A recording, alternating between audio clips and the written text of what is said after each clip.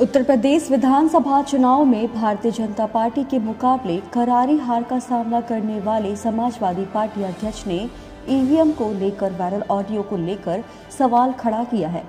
उन्होंने supreme court और राष्ट्रपति से संज्ञान लेकर सुरक्षा देने की मांग की है।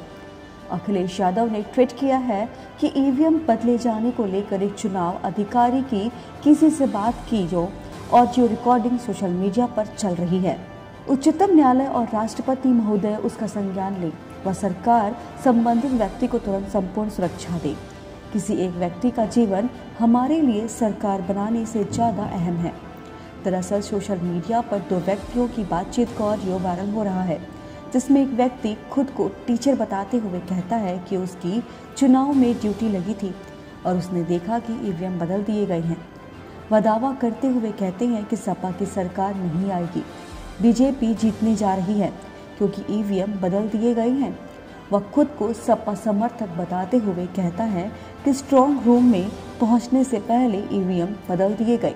गौरतलब है कि समाजवादी पार्टी और खुद इसके मुखिया अखिलेश यादव एग्जिट पोल्स के बाद से ही ईवीएम और काउंटिंग में धांधली का आरोप लगा रहे हैं। उन्होंने बकायदा प्रेस कॉन्फ्रेंस करके सरकार पर कई गंभीर आरोप लगाए थे। सपा के कई नेताओं के अलावा पश्चिम बंगाल की मुख्यमंत्री ममता बनर्जी ने भी आरोप लगाया है कि सपा को गड़बड़ी करके हराया गया है।